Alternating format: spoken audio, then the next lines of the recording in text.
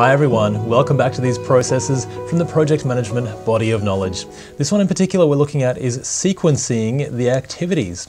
So we've created the activities that will deliver the scope of the project and now we need to put them in sequence depending on their dependencies or you know other things that need to be completed before they happen and that way that will help us create our schedule diagram and the overall schedule for our project.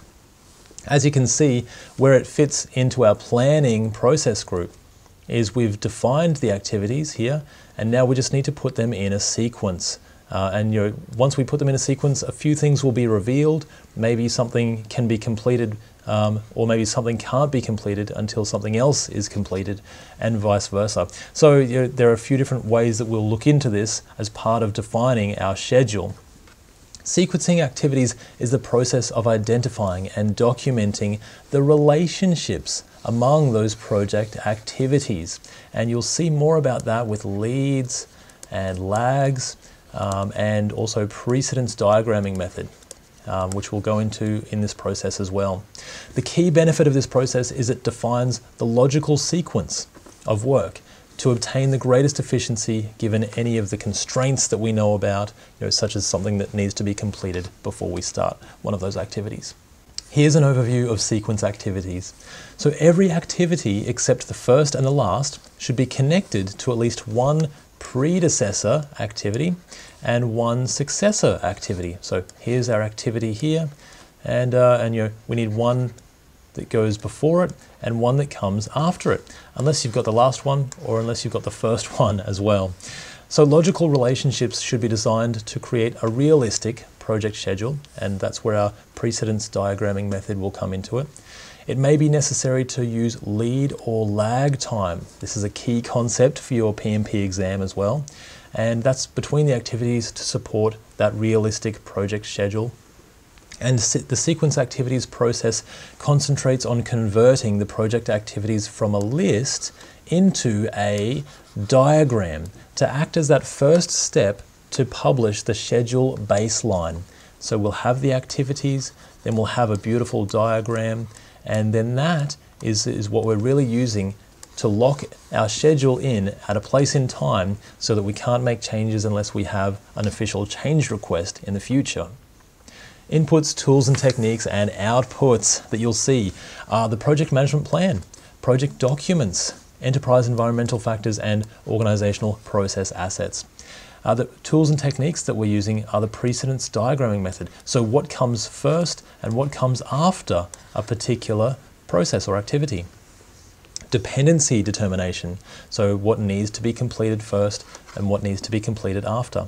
Leads and lags, can we bring this item forward or do we have to wait until, you know, uh, for a few, uh, for a certain amount of time after something is completed?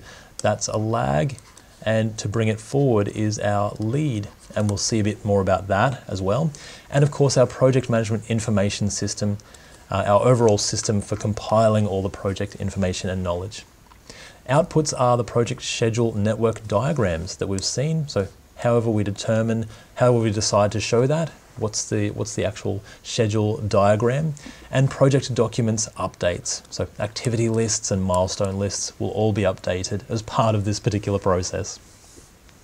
The sequence activities process will have a big input into our project documents as well. Uh, so schedule network diagrams, activity lists, milestone lists, and all of those sorts of things. Let's look at the inputs in more detail.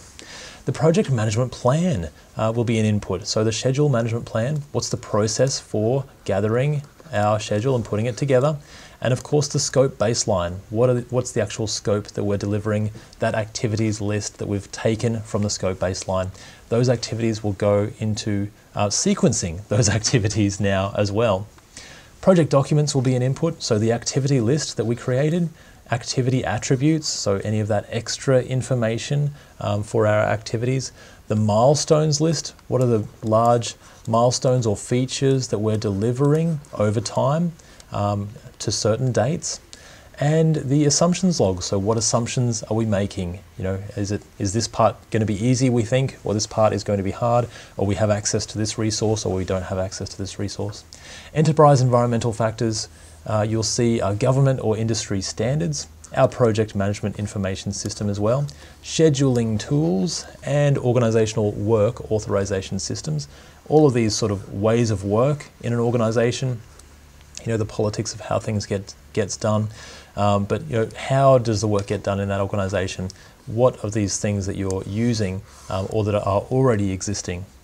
And organizational process assets like templates, um, processes, guidelines, and our lessons learned repository, so previous lessons learned from other projects. Let's look at the tools and techniques in a bit more detail, and we'll see a few new things come through here. This is our precedence diagramming method, because what has to precede or what has to succeed something. And it includes four types of dependencies or logical relationships for your activities finish to start, where we've something cannot start until this one has finished. So the way you look at this as well is you've got the first one and the second one. So this is our second activity and this is our first activity. So the second one here cannot start until the first one has finished. Looking at that, if you've got finish to finish, the second one cannot finish until the first one has finished. And looking at the next one, this one, the second one cannot start until the first one has started. And this last one here, the second one cannot finish until the first one has started. So start to finish. You will definitely see something about this on the exam uh, as part of your schedule or you know sequencing activities. So it's good to know that um, you know it's just done in that sequence of the first one and the second one. So the second one cannot start or finish until the first one has start or finished. And this is what they look like as a, you know, as an example. Activity A needs to finish uh, before activity B can start. Uh, so start to start, activity A uh, has to start before activity B can start. Finish to finish, activity A needs to finish before activity B can finish. And start to finish, activity A has to start before uh, activity B can finish over here. So dependency determination and integration. There are a few dependencies that you might come across. There are mandatory dependencies, discretionary, so that's something that absolutely has to be you know, done. That's a definite thing and you're definitely dependent on that for your activities to start at a certain place. Discretionary dependency, uh, dependencies, where you know it's a, it's up to someone's opinion. So you know that's that's just a dependency. It might change internal dependencies to the organization or to the team, and external dependencies, so maybe market forces or political forces that you're going to see that might, uh, that regulations, for example, that you might be dependent on. Dependencies has four attributes, and two can be applicable at the same time in the following ways. So mandatory external, or mandatory internal, for example, or discretionary external dependencies. So that's how that works. If, you, if it's an absolutely set in stone, mandatory internal dependency, then that's something that you need to be aware of. Leads and lags you'll come across as well. Now, a lead is the amount of time the second activity can be advanced or can be brought forward for you. So the best way to look at this is on a Gantt chart sort of style. And if we're using lead to, to bring an activity forward, we're saying that there's a little bit of time here and this activity can now be brought forward. So now it's happening at the same time. And maybe this activity can be brought forward as well. And so now we're not using all this time over here, but we're just using all of our time. We've used the lead time for these activities to be so that they're all done at the same time. We've brought them forward. Now lag time is if we've got our activities, let's say they start here, but this one might, the second activity might have a dependency. So this one actually can't start until this one is finished. So now we have to wait and that's the lag time. So we actually have to wait. Uh, this one cannot start until this one is finished. And so the lag is all of this time in between here that we're sort of wasting in a way. But you know, it's just part of those dependencies that we have to be aware of. Lag time is we have to wait for something to happen. Lead time is we can bring it forward and we don't have to wait, so we can actually use some of that existing time Project Management Information System. So of course this is our overall system including the tools and the processes uh, of how we're gathering project information about the activities and the schedule and the cost and the scope and putting that into the overall system and how is that information dispersed around the project.